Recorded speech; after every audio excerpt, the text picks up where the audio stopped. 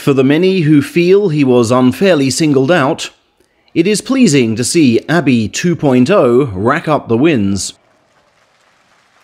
September was his chance to return to Division 1 for the first time since his ban, but it did not start well. An inadvertent tug on Kaisho's hair costing him match 1, and, after this routine win,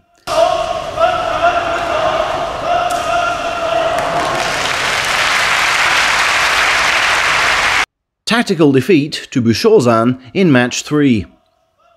The shorter man fending off with an inner defensive right.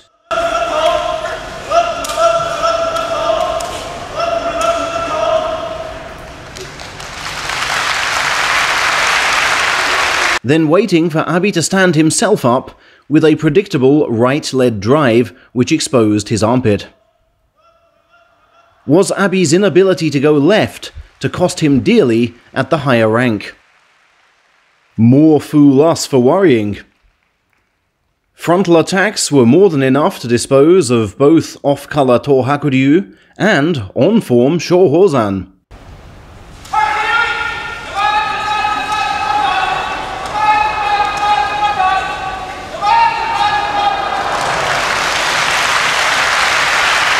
The combination of hand speed and power impressive.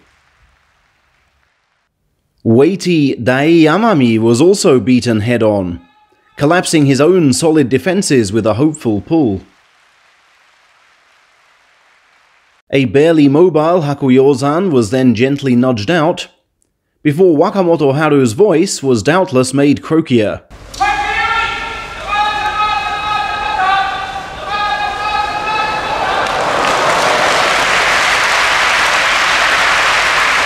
Whether through awkward bends of his elbow here, or through a training move gone wrong, we cannot say, but Abi wrapped his right arm in tape from day 9 onwards.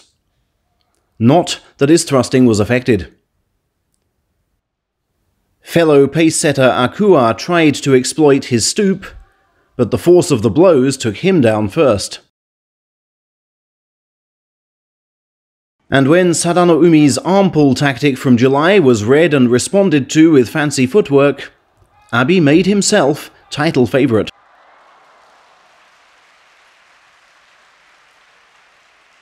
Daishoho almost got him with a clanging left parry, but stumbled in his follow-up and went to ground.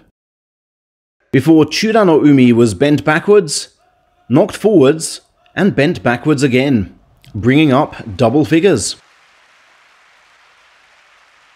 A vicious pounce on Kotoshoho's sideways shift made it 10 successive wins before this raging rhino charge put paid to Nishikigi and gave Abi the title with a match to spare.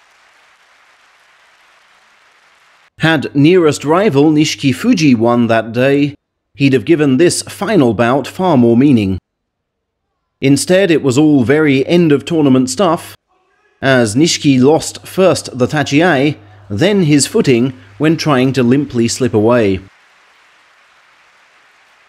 Abi therefore returns to the top flight on a run of 12 straight wins, and with three titles from four events.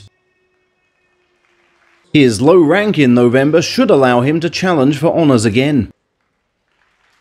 I want to delight everyone who's stuck behind me, he vowed at the end of the tournament just gone.